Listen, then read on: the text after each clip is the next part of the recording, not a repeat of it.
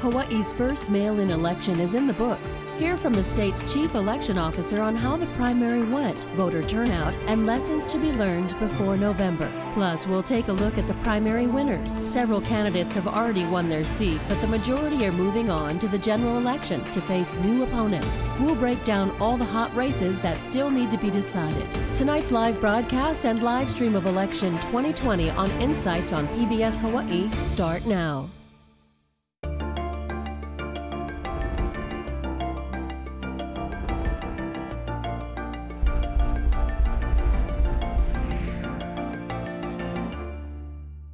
Aloha and welcome to Insights on PBS Hawaii. I'm Daryl Huff.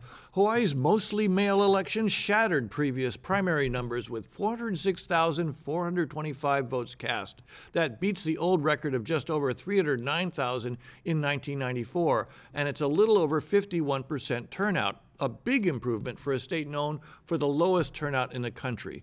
Tonight, we'll take a closer look at the primary and what we can expect for November. We look forward to your participation in tonight's show. You can email, call, or tweet your questions, and you'll find a live stream of this program at pbshawaii.org and the PBS Hawaii Facebook page. Now to our guests. Scott Nago is the state's Chief Elections Officer. Catherine Cruz is a journalist and host of The Conversation at Hawaii Public Radio.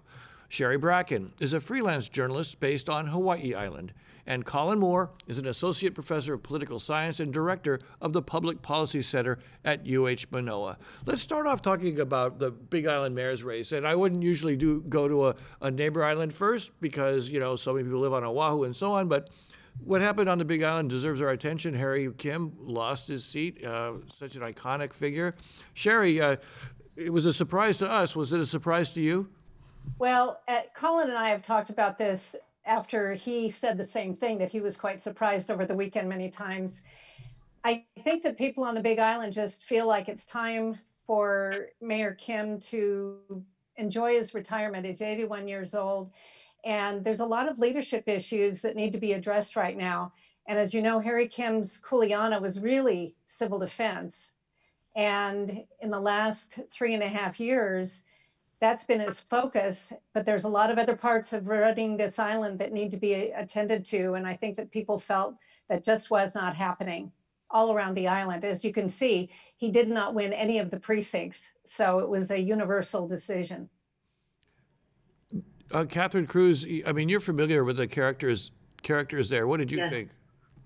Well, I think uh, uh, Mitch Roth, you know, really hustled, you know, because nobody was really sure if Harry was going to jump in. And uh, I think he just worked really hard and got his message out. I also think that Mitch Roth has done a lot of positive things that people gravitated to that totally resonated with people. Some of his programs to keep people out of the justice system, he's not what I would call a traditional prosecutor. He focused on looking at kids whose parents were incarcerated so they wouldn't follow in that same path. He focused on, as people were coming out of prison or jail, to try to make sure there was a way to get them to be functioning members of society. So that's the kind of thing I think Mitch Roth was focusing on. And then, of course, the sort of surprise second place winner was Ikaika Marzo, who has zero political experience.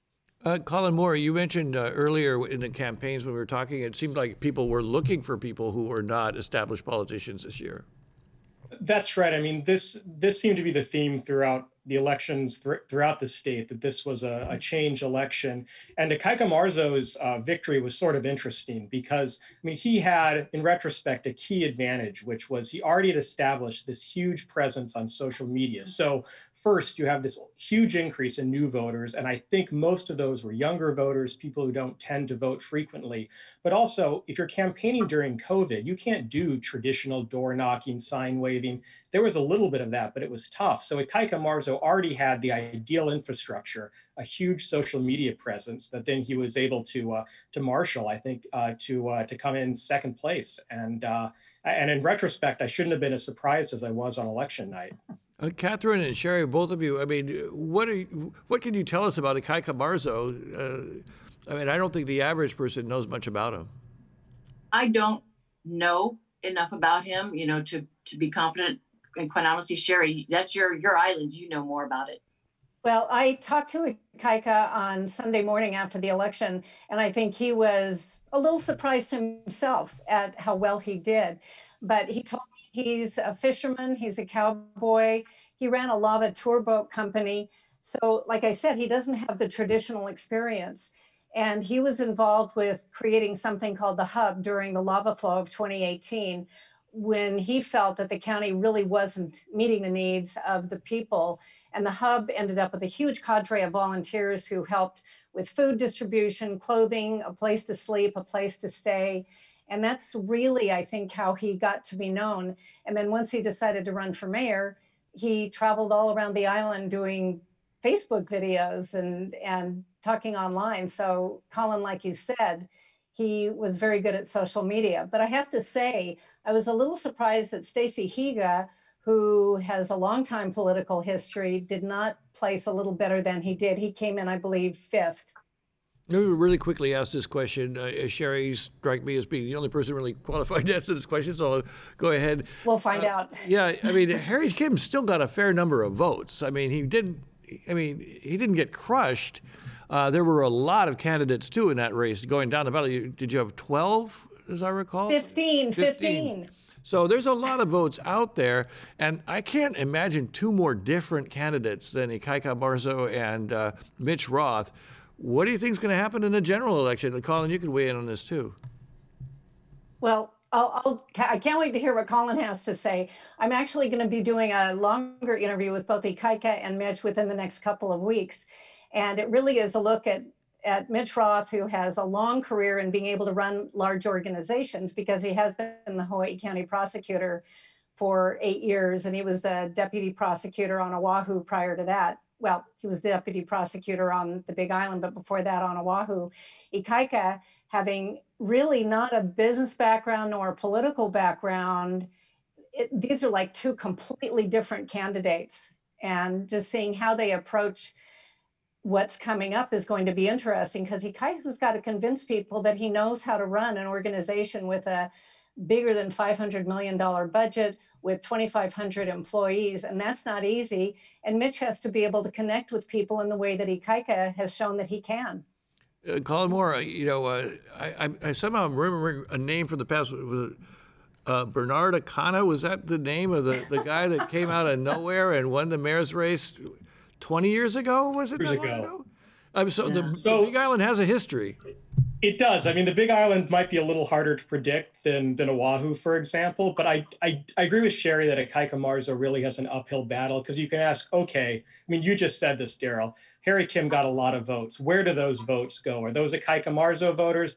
I'm not sure. I think they're probably Mitch Roth voters. So it may, you know, he may reach his ceiling pretty quickly, but you know, when you have a candidate like Ikaika Marzo win, it's still beneficial, even if he doesn't win, uh, end up um, winning the mayor's race. You know, he'll still inject a lot of new ideas. I mean, it's I think it's always refreshing to, to see someone come out of nowhere with a, a totally new perspective as opposed to the kind of more traditional union endorsed uh, centrist Democratic candidates. So Sherry's right. This is going to be a fun race to watch. I think one thing that's happening too is now that you have just two candidates, the voters can focus and get to know a little bit more about somebody they may not know about and maybe learn something, get a new character, and get a new perspective on things.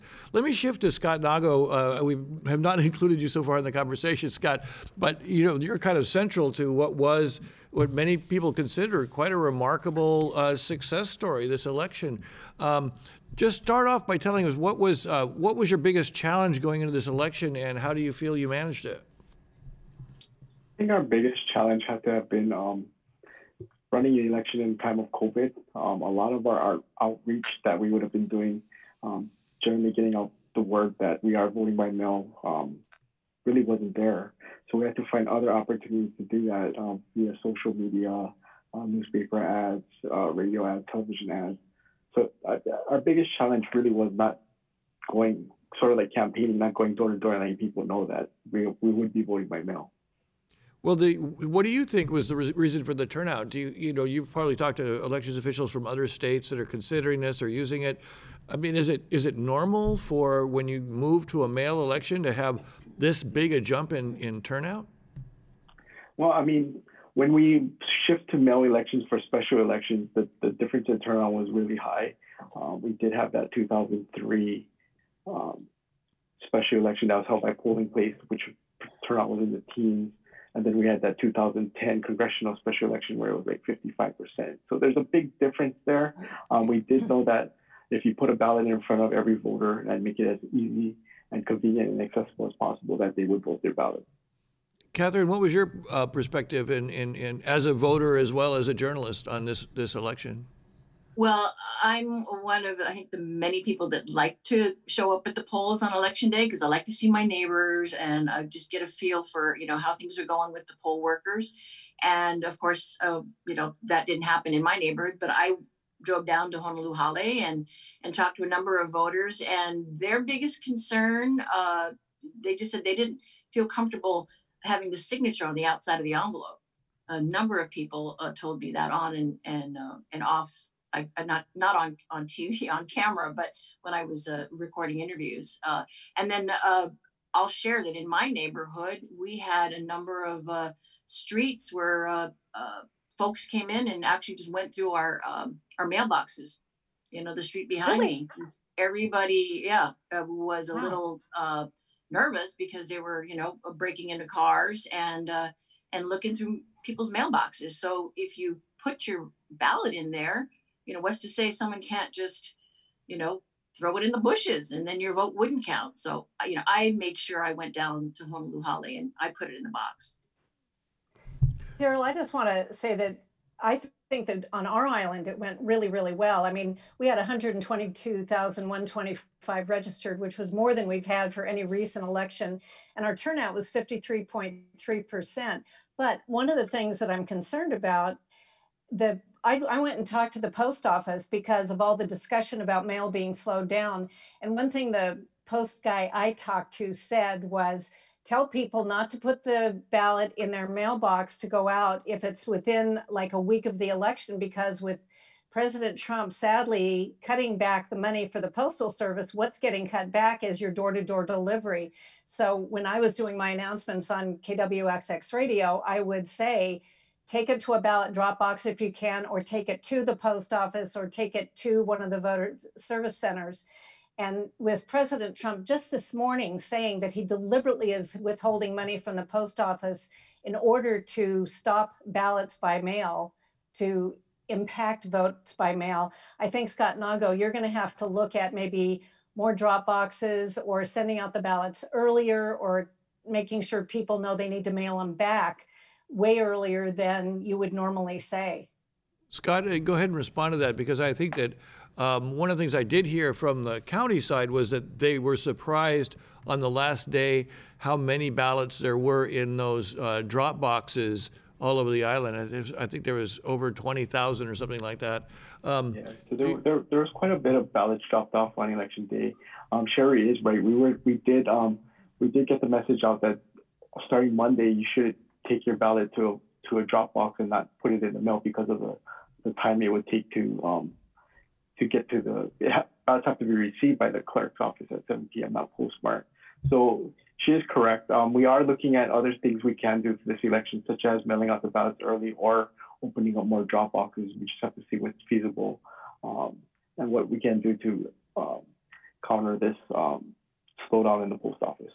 You know, one thing though, I, The I got to say that the from what what we understand, I think both Catherine and I talked to the Honolulu clerk's office, is that in the end, only less than a thousand ballots arrived too late to be counted, um, and to me that was a remarkable number. I thought it would be tens of thousands arrived too late because people might drop it in the mailbox too late or problems with the post office. You didn't see any problems with the post office this year, after all, right, Scott? No, but but we did see a lot of people dropping off their ballots at a at a drop box um, up until 7 p.m. I mean, you you saw the pictures of people running to the drop boxes to make sure that the ballot was cast. I, You know- I- oh, I was just going to say, I want to take just one second and congratulate Scott and the, um, the Office of Elections and all the volunteers for running what was basically a flawless all-mail voting uh, effort for the very first time. And, and also to appreciate that, I mean, so Daryl, you asked, you know, how much does turnout usually increase when you move to all-mail and voting? Well, Hawaii has blown the doors off. Our turnout increased over 16 percentage points. That's never happened in any other state in the country, not even close when they moved to mail-in voting. So, I mean, I think there's a lot to be proud of. We have reversed the trend that has been um, going down since the 90s. The last time we had turnout like this was in 1996. So, um, so there's a lot to be proud of, and I think the Office of Elections um, played a role in that. So, congratulations, Scott. I think this was, I think everyone um, uh, should be should be proud of the work you all did. I was also impressed. Oh, Scott, I, sorry, I didn't mean to interrupt you. You could, Yeah. you could, you could, you could take your lot, Sorry. lot, lot of toys. Take your. But, uh, but I was also impressed by the counties. I mean, I, I thought the counties and you folks worked very well together this year. There was a clear definition, like we knew who to call to ask what question about what in the past, because you had all these precincts being managed by your folks, and then you had the county taking in the absentee ballots and so on. It was a mishmash of jurisdictions on election night. I remember calling up clerks and being, you know, so where's the ballots? They're driving across the Big Island, you know. Uh, It was it was insanity, and I found that you know we knew who to call, we knew who to ask, and I thought you did a nice job of sharing the wealth with the counties, who, from what I could tell, all did well too. The counties Okay. did do well. Ours did, certainly Big Island. I couldn't be prouder of Pat Nakamoto and her entire team. But I still, you know, we had 53.3%. And like Colin, you said, it was much better. But I'd really like, I'm hoping we get to 75%, 80% turnout. Oh, what? You're shaking your head. No, that's not going to happen? it's it's not going to happen anytime soon. I mean, that's up with Minnesota levels. This this is remarkable. If we if we maintain this, which I think we will in the general election, that's that's reason enough to celebrate. It'll take a long time to get back to where we were in the 60s. So I, I hope this trend continues. I agree, but um, this this was unexpected. So I mean, I think we should acknowledge um, acknowledge that. Well, and I think one other thing about it is I know on our island, Pat Nakamoto told me that there were only like 1,200 people who voted in person at the voter service centers. We only had two, but only 1,200. And I was thinking more people would go in there, but really most people did return their ballot to the drop boxes or by mail or to the voter service centers already filled out. So it's exactly doing, Scott, what it was intended to do. Okay, enough backslapping here. I got a couple questions from the Oh. So, Okay. We don't want Scott to get too comfortable up there. Um, okay, so uh, a good kind of question that kind of goes to the turnout issue is that what's the deal with purging the voters registration list? We received nine ballots, but there's only four voters in our house. I think that was a source of confusion confusion for people. I can't even say it. So, um, is that something that needs to be streamlined or worked out, or are you basically stuck with federal law in that respect, Scott? So the, the only way you can remove a voter pursuant to federal law is if uh, election mailing gets returned. So, for example, this house that got um, ballots for people not there, unless they drop it back in the mail and it gets back to the clerk's office, there's no way we can start the practice of cleaning up the rolls. So a lot of times, you know, those those election mailings that you get that says you're registered to vote, and this is um, in the past it used to be this is where you go to vote. If you just take those in, throw it away for somebody who's not there, um, we can't initiate the process to remove voters. So we're asking um, everyone that if they receive one of those in error, to please um, return it so that we can start the process of removing a voter. And once we do that, from there, a voter has two general elections to actually correct it or re-register it before they're finally removed. So we can't just remove somebody for not voting or not being there. So, um, do you have a sense of how inflated our voter registration numbers are with potentially bad addresses or people have moved or people have died? Believe there's a little less than 100,000 of those um, addresses that are not um, active voters. Oh, 100,000 out of about 800,000, Right. right? Little less than 800,000 registered voters. So, okay. D- So D- Daryl? turnout is actually better than we thought. Go ahead, Catherine.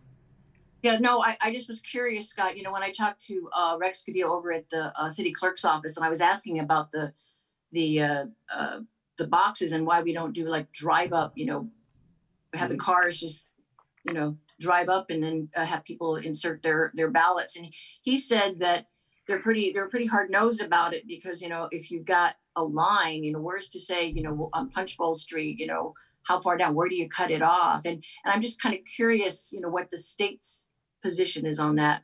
You know, what are the conversations that you had about that kind of thing, drive through? So the way the law was structured when we moved to mail was the drop boxes were all um, responsibility, or the, the determination of drop boxes was um, up to each individual county.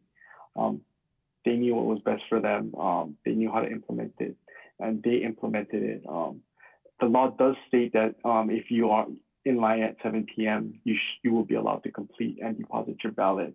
And I guess what Rex is trying to say is it's hard to to um, draw that line with a car if there's a line of cars because of safety reasons and all, all that. Yeah, we noticed uh, on on election night uh, we had a couple of Hawaii News Now we had a couple of live crews out, one at both of the visitor centers, and it was it got quite wild. At one point, our our, our reporter at uh, Honolulu was pointing out that there was a long line of cars and people were jumping out. Here's a voter at the Kapolei, uh, you know, being quite excited about running up there. Kapolei, that wasn't quite as easy to park. There wasn't really a drive-up opportunity there. Uh, this guy, I'm, I'm, glad he survived getting to the ballot box. But, um, you know, that was a big issue where we were asking, well, how do you control a line of cars, you know, and, um, you know, is that something you, you probably have to I think he just wanted address? to be on TV. I don't know. I think they actually wanted to get their votes in. They were serious, right? But but Scott, is that something that you might have to address in a statute because you, know, you don't want to be in a situation where one county you can drive up at seven o'clock and be guaranteed getting your ballot in, but another county you can't. No, I think across the board, if you were in line prior to 7 p.m. and you, you started the process to vote, you would be allowed to complete it. There's one thing that was happening too is that when uh, when a late voter was coming up and the box had been closed, but it was like maybe it's seven or whatever, and the person was in sight of the elections officials. I mean, how do you? The, the definition there it gets a little it gets a little shady there, and people really seem to care about those last minute ballots. Yeah, so my understanding is there were ballots that were received after 7 p.m., but they weren't counted because they did not um, make the deadline. Um, they were just accepted by the clerk's office, but not counted. Colin, how do you think voting might have changed because of this? I mean, how do you think it might have actually affected either, if not the races in this primary, how do you think it's going to change the way people campaign and um, uh, vote in the general election?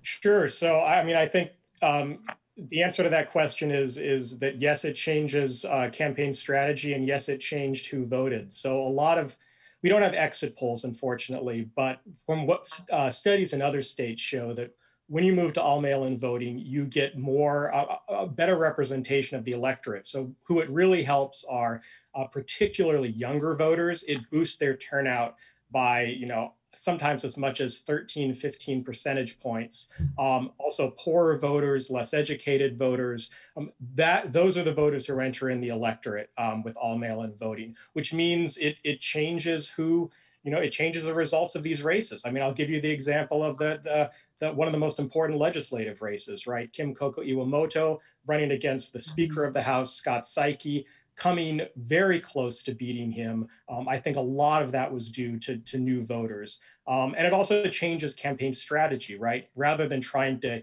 use all your resources to build up to the election, you know, to make sure your people turn out on election day, it, it's harder to gauge. And it's, you know, where, when do you peak? When do you send out those final flyers? And I think there's sort of some folk wisdom that people either turn their ballot in right when it comes. So you want to you want to push out your campaign material the day you know after the elections office sends out those ballots because people think, okay, I got got my ballot, I'm to turn it in right away. Or you want to peak again at the very end of the campaign where it's been sitting on your kitchen table for for a while, and then oh, you know, here's a flyer for a candidate, and I'm as I'm filling out my ballot. So it does change election strategy too.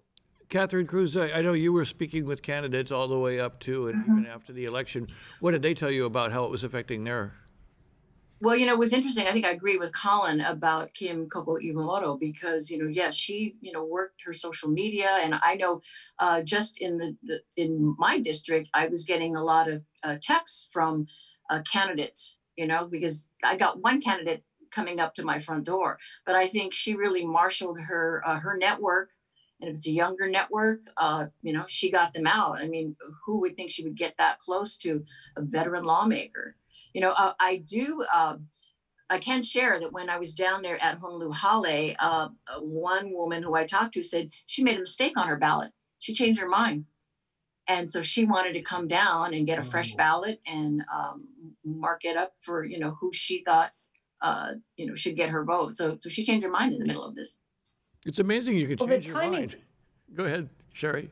The timing thing is interesting because on our island, the ballots were supposed to come out on X day, but they came out about a week earlier. And some of the candidates were a little, they had planned their strategy to, you know, do big mailers on the day the ballots were supposed to be there. And then they came a week early and some people had already voted. So the whole timing thing is different when you have mail-in ballots. And Scott, if you're thinking of mailing out the ballots even earlier for the general election because of potential mail slowdowns for the president, candidates are going to have to take that into consideration. Scott, go Yeah, so we follow the recommendations of the post office on when to drop it in the mail. So they, they recommended for Neighbor Island that we drop it in the mail five days prior. Um, so that's what we did. Uh, and, and the post office does a really good job of making sure that they move ballots. Um, and so they, they moved those ballots, they delivered it within a day. So that's why they came out early. Um, it's just I'm not, something we got to work on. that's not a criticism, Scott. I, I just, Oh, I thought, you know, it was just interesting that they did get there early. They got there fast. And actually, most voters I knew were pretty excited because they had a chance then to look at their ballot, think about their ballot. Very different from walking in and being presented with a ballot and then having to make a decision if they hadn't thought about it. Colin, it uh, also allows families to sit around the table and um, discuss candidates' pros and cons and all that. yeah, because Colin Moore, uh, as you know, candidates really want to know when that ballot's arriving at the front door. We've talked about this a lot. It, it affects how a station will time a debate, for example. And um, so, how does it affect a candidate? And Scott, if you could follow up after Colin, did you see a pattern? Like, what was the peak of voting? Was it pretty much at the end, or was it somewhere in the middle? But go ahead first, Colin. How important is it to politicians to know when the ballots are coming out? Oh, it, it, it's crucial because I mean, traditionally, your whole election strategy is built around election day, and now we have, you know, multiple election days in theory. But uh, like I was saying before, um, and from talking to candidates, you know, I think the, the the general wisdom is they want to have a big push for their materials the day people get that ballot, and then a big push at the very end when it's been sitting around and uh, and people haven't haven't um, haven't cast it yet. But I, I, I wanted to follow up on something Scott said too, because I think this also might be happening, um, which is maybe in our multi-generational households here in Hawaii, when we saw an increase in turnout because older people are sitting there casting their ballot, talking about politics, and younger people who live in their house, you know, they're being told, hey, here's your ballot. You need to fill it out. Take this seriously. And I hope some of that happened too. Or the other way around, Dad, you better vote. Yeah.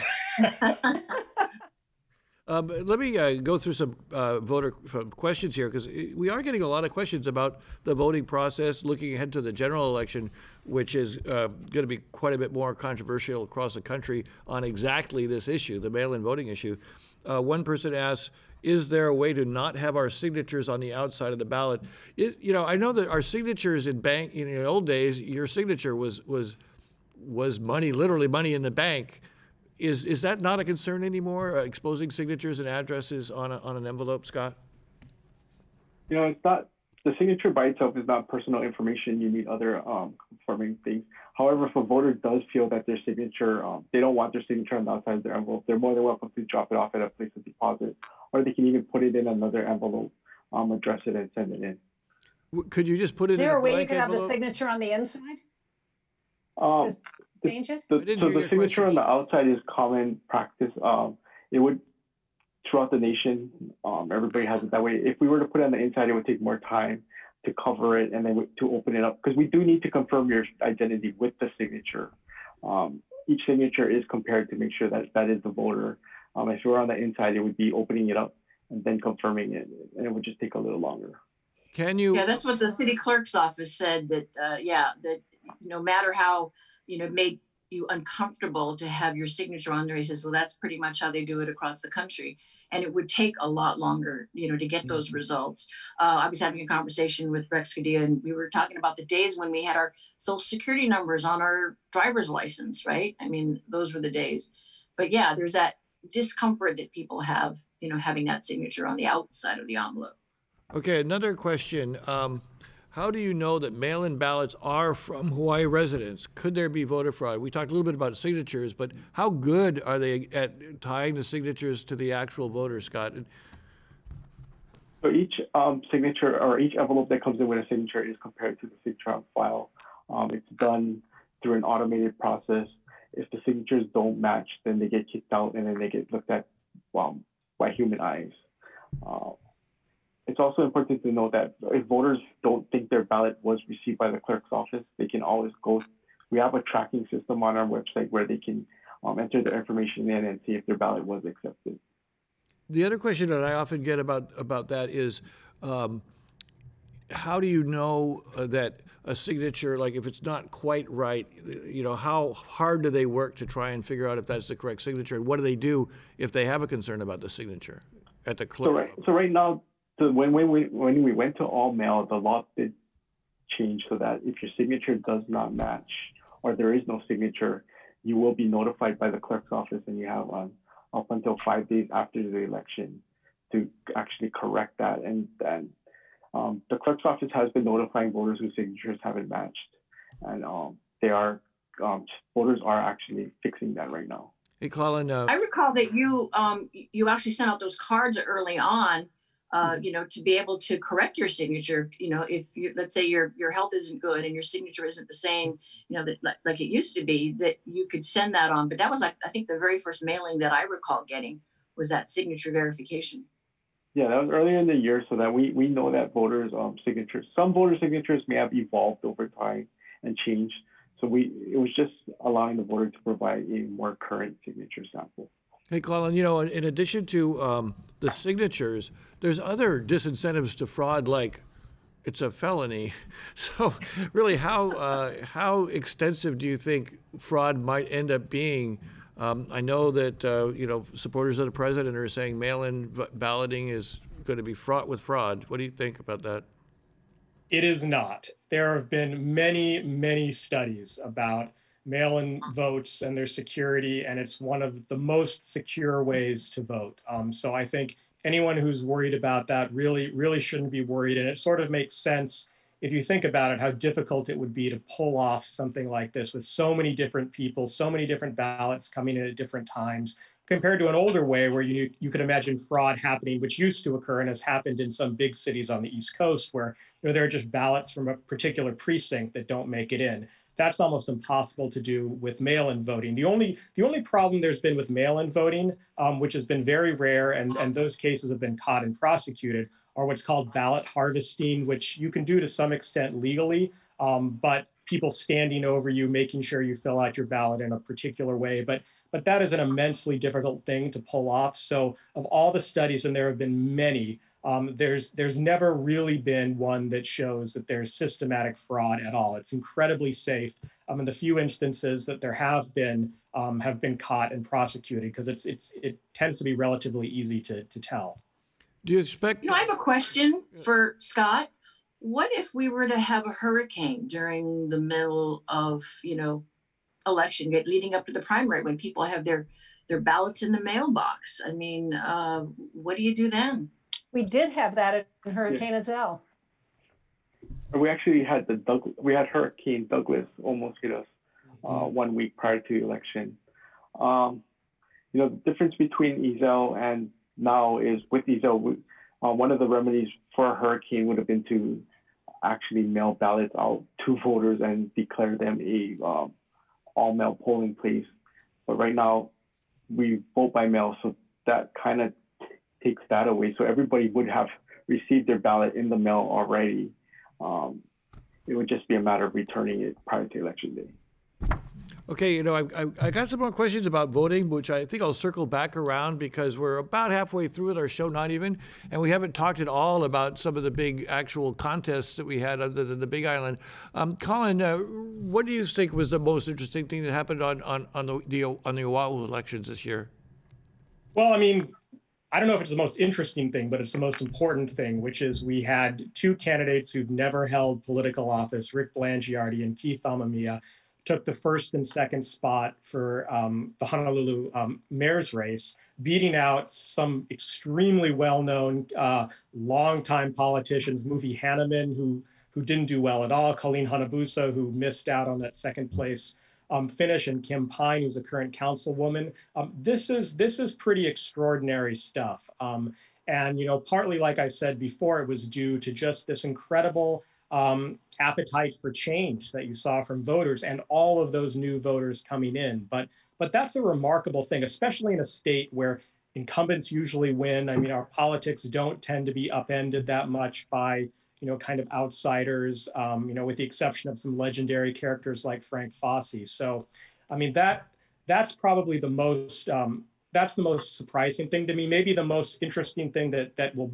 will um, that gives us an indication of, of what to look forward in the future is that you know the victory uh, or not the victory but the strong challenge from Kim Coco Iwamoto and and some young progressives like adrian Tam like Sonny Ganaden beating out Romy Cachola I think you're going to begin to see what we've been waiting for for a long time which is really challenges from the left young progressives challenging more centrist Democrats. Catherine what was your perspective on what you saw? Yeah, I, I was actually pretty surprised about that. Uh, and, you know, I know on one hand you hear a lot about, oh, well, you know, the candidates spent a lot of money advertising. And, you know, we saw Rick Blangiardi's ads out, you know, early on and, and just constantly. Uh, and, you know, we'll have to see whose, uh, you know, supporters will go with either candidate, right? Because you've got all the, you've got Kim Pine's supporters, you've got um, uh, Colleen's you know voters and, and Mufi's you know so who are they gonna who are they gonna uh, endorse for the for the general yeah, I mean, when you think about it, uh, Rick Blangiardi was a, a, strong finisher, but he only got 25% of the vote. So there's a lot of votes still remaining out there. Sherry, I want to ask you, though, from the perspective of someone on the Big Island, do you guys get interested in what's going on in Oahu, or what, what, is it, what, what was your perspective as a reporter, even? Oh, no, we just completely ignore you over there. No, of course we're interested in it because – you know, as Honolulu goes, that totally affects the Big Island. So of course we're interested in that. And you know, you had 15 mayor candidates as well. So it was interesting looking at that field. And there were some of them that were well known, like Rick Blangiardi and Mufi and Colleen, people who you might have thought would have finished better than they did. But like Colin said, there seems to be a move towards change. And we even saw it on this island in some county council races where we had a couple of challengers who are more progressive, perhaps in Puna and in Hamakua Coast, who are in Puna, the incumbent is now going to be facing a challenger in the general. Did not take it, which was, don't know if was, that was expected or not expected. And Hamakua did not have an incumbent. So we're looking at a former council member, Dominic Yagong, being challenged by Heather Kimball, who's way more progressive. So it'll be interesting to see what happens in that one. Colin, I'd be. Yes, we're very interested in Honolulu, Daryl, of course. we, we, love you people. That, glad, I guess I'm glad to hear that. But uh, Colin, do you, um, how did the turnout, do you think, affect these races um, in terms of how things fell? Do you think when you talk about liberal progressive candidates doing better in some of these races, do you think it's a function of more people voting, or do you think it's a function of of the just people want new people? I, think it's both, actually. This is the interesting thing. So it's not it's not the case that only liberal progressives did well. I mean, I don't think anyone would characterize Rick Blangiardi as a liberal progressive, and I'm not sure Keith Amemiya fits that bill either. So so some certainly did. Um, but I think it was this combination of a, um, uh, a feeling that uh, it was time for change, um, you know, which is just one of these things that can be difficult to predict in politics. I mean, I think a lot of people, including me, weren't sure whether voters were going to go for experience given COVID, given COVID, or or, or want change. Um, so that can be tough to predict, but you know that would explain some some of these outsiders uh, winning. Um, but that also the turnout, I think, did favor those those liberal progressives because if you know who turned out, and we don't have exit polls for this race, unfortunately, I wish we did, but if you look at other states, like I was saying before, you know, the, the increase in turnout is really driven by uh, young voters, voters who don't tend to show up most of the time. Um, you know, and they tend to favor outsiders. Um, and I think for the younger voters, they tend to be more attracted to young progressives, or you know, maybe not even young progressives, but outspoken progressives like uh, like Kim Coco Iwamoto.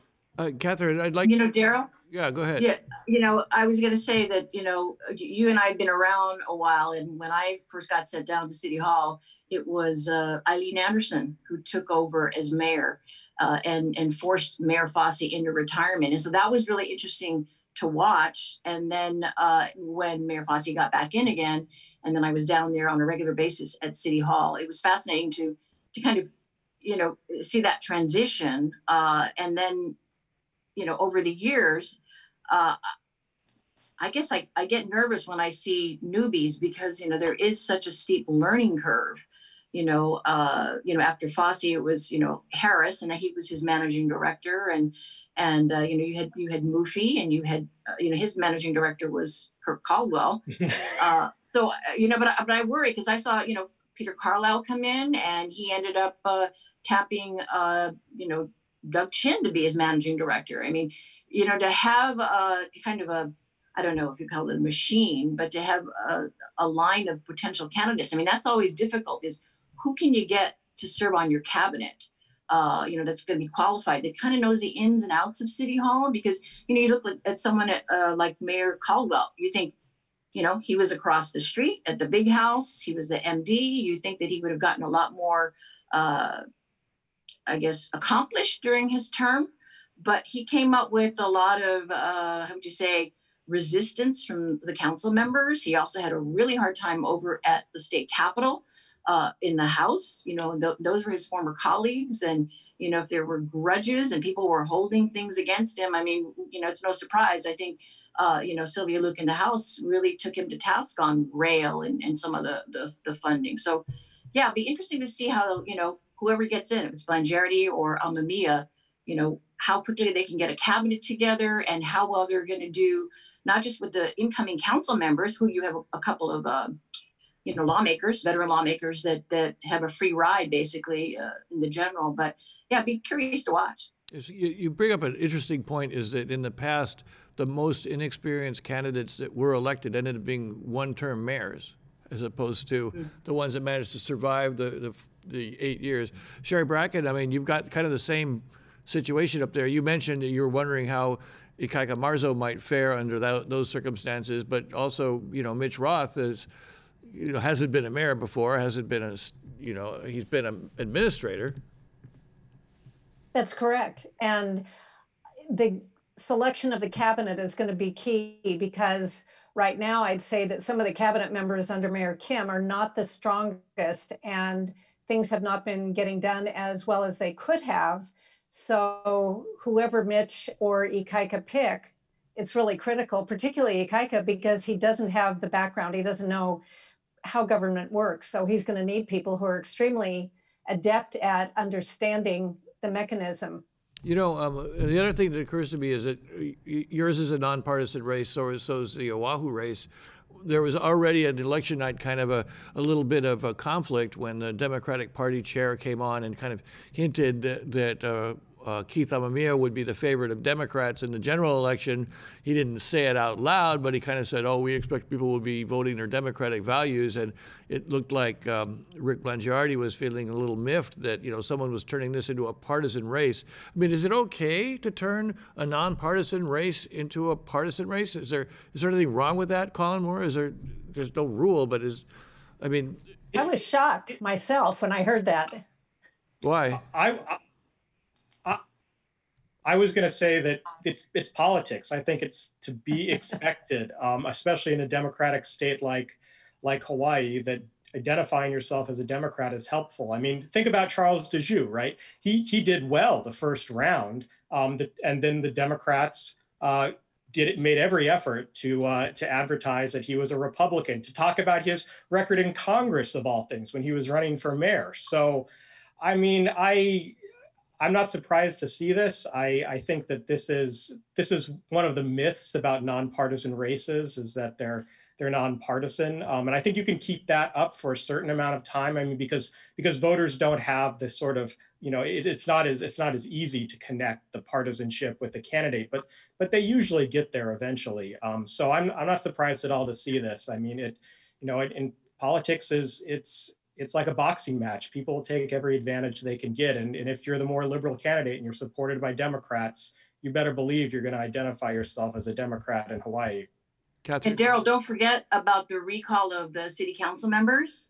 Remember that? Uh, Patsy Mink led that. Uh, you know, you had uh, Toraki Matsumoto, uh, George Akahane, uh, Rudy and Pacarro. um, oh gosh, Rudy Pacarro. Rudy Pacarro. Yeah.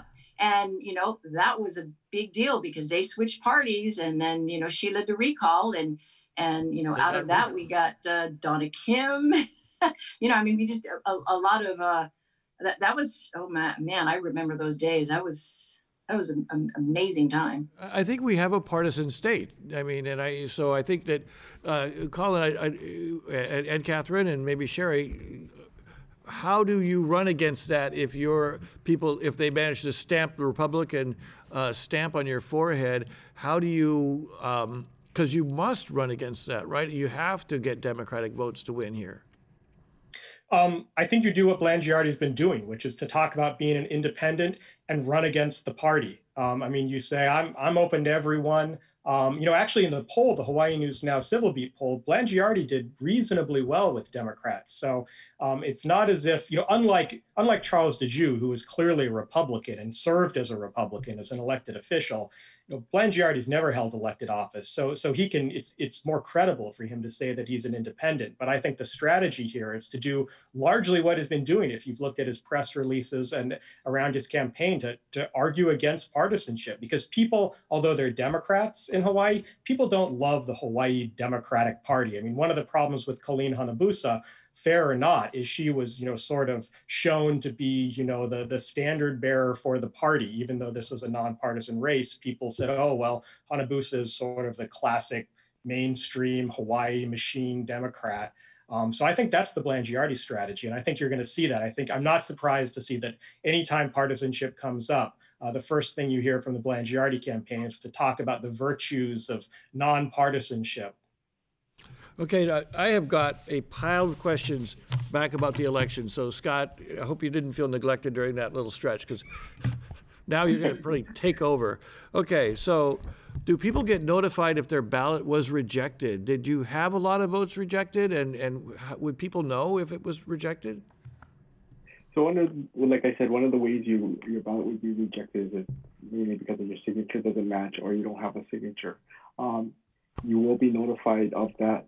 Um, you will have five days. You'll be notified by the clerk's office, and you'll have five days to actually correct that. Um, if you're not sure if your ballot was accepted or not, like I said, you can go onto our website. You could go onto our website to check the status of your ballot. And were uh, another question is that were there a lot of ballots that were rejected and had to be recounted? Did you um, did we have a problem about that? Um, and people do have the ability to clear up any any problems that might be with their signature or so on. Did did we have a lot of votes that were affected by that? No, I believe we had um, little over 2,000 of those statewide. Okay. On our island, I know we had about 600, but, and Pat Nakamoto said everyone had been called and some of them chose not to come in, some did. But she said, based on the distribution, she didn't think it would affect the outcome. Another question, uh, what is the process for the voters list when people pass away? And Scott, also on that, um, we were talking earlier about, you know, if someone's no longer in the household, is there any obligation of the other people in the household or the family members to tell the elections division that someone's passed away or no longer lives there? So we do we do get the death list from the Department of Health, but that is only for people who passed away um, in Hawaii, in state. Uh, the easiest way to, to remove somebody, so if you do receive a mailer for someone who has in the household who has passed away, would be simply just to return the mailer, not accept it, uh, and throw it away as junk mail, but just put it back in the mail so it can get back to um, election officials so they can start the process of removing the voter. So, so if, if uh, for example, my son uh, no longer lives here, he voted in the state that he lives in, but we got a mm-hmm. ballot for him. So, the, what I would do is put that back in the mailbox, and then the mailman would take that back, and you would actually remove him from the voter list. Yeah. So the federal law says that that's the only way we can initiate um, a removal from the voter list is a return election mailing, such as ballots or those notification cards. Okay, yes. I have a question for Scott. I have a question for Scott, Daryl. Um, I just was wondering, did you have a large number of people registering that day on Saturday? Hmm. No, but we did see a peak um, in online registration sort of right before the, the registration deadline. Um, but as far as um, election day registration, there wasn't a whole lot. I mean, like I said, there was only 5,000 people who actually um, voted in person. So if you were going to register um, on election day, you would have to vote in person. So they, they, there wasn't a, there wasn't very much. You know, uh, here's another kind of interesting question, and I think I have to add a little information to this. What if someone is a first-time voter? How would you compare signatures if someone hasn't voted before? Um, I know you do ask for ID, and you don't even ask for ID for first-time voters, right? It's like, how do you make sure that person who walks in and wants to vote is actually the person that they claim to be if you don't have prior so for, for a first time voter when they do register to vote they fill out an affidavit. Uh, they would fill out the application sign that application. That's their signature. Um, that's the signature we use to compare against. If they're going to register online they would need a hawaii driver's license or a hawaii state id and we would get that um, signature from that when they applied for and got their id or driver's license you know, I'll throw this out to everyone because I think this is an interesting question to chew on a little bit. I had like four questions here about electronic voting. Um, you know, uh, when will we be able to vote electronically? How about email ballots? And there was another one here. You know, do you do you think that people are ever going to be comfortable with the idea of being completely online in voting? There was a lot of primaries where they tried to go online and it got it got controversial. Uh, Scott, what's the possibility of uh, down down the years ahead going to all electronic, and uh, what do the other folks on the panel feel about that? So for the overseas, we do have electronic voting uh, via email for overseas voters. Um, the military overseas voters who get their ballot, um, they can request a electronic ballot, which will be emailed to them. Um, they, they'll fill it out. They, they can either print it and mail it back, or they can uh, save it and email it back. It, it's up to the voter, but we do have um, electronic ballots as well as we have electronic ballots for um, the disability community. So those ballots are accessible. Um, so we do have it now, but the majority of the people do vote on um, paper ballots. How does that work? The electronic thing. It's basically a, a an HTML ballot. Um, it's it's compatible with all devices, reading devices they would mark it. Um, they would either print out their ballot, mail it back, and then it would be duplicated onto a regular ballot, or they would email it back, and uh, we would either have to duplicate it onto a regular ballot, or there's a barcode that we can scan that would produce the ballot. Is it is it private?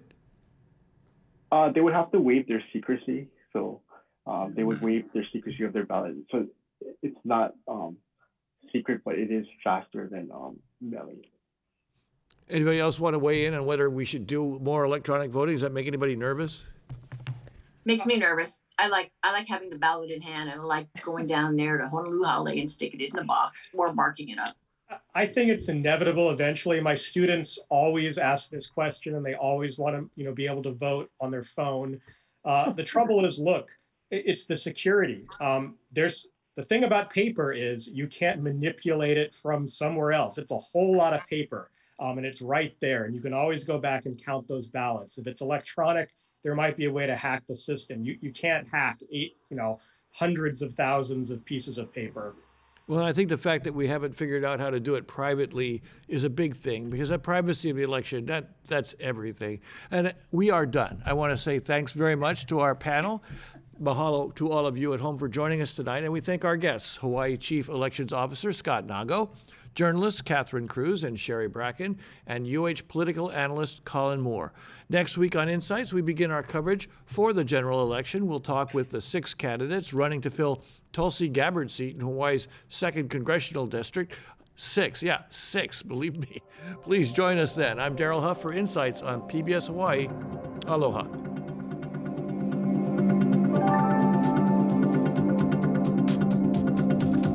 Thanks, guys. I don't know if you can still hear me.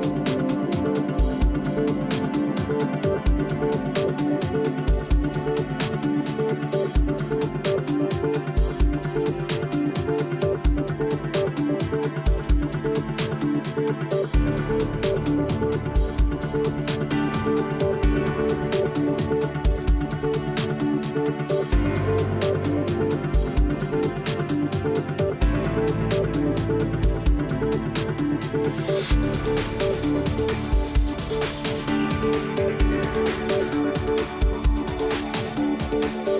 back.